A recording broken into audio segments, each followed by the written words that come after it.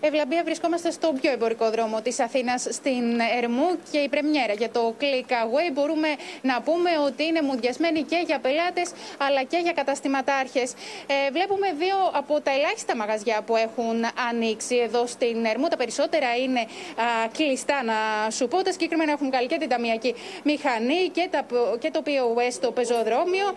Έχουν, όπως μας είπαν, 5-6 προγραμματισμένες παραγγελίες για παραλαβή σήμερα.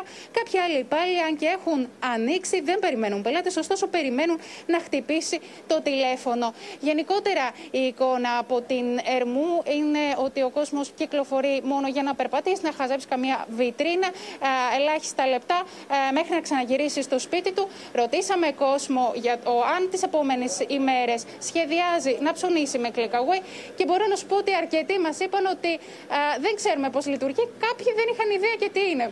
Μέρη, τι λένε οι καταστηματάρχες;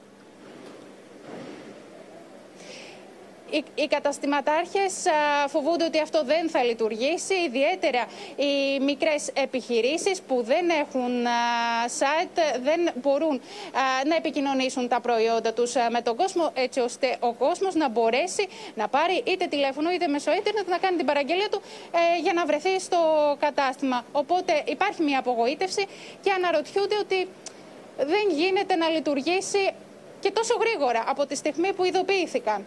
Σωστά και χθες λέγαμε στο δελτίο μας εδώ και πάλι ότι μόλις το 20% των επιχειρήσεων έχουν site.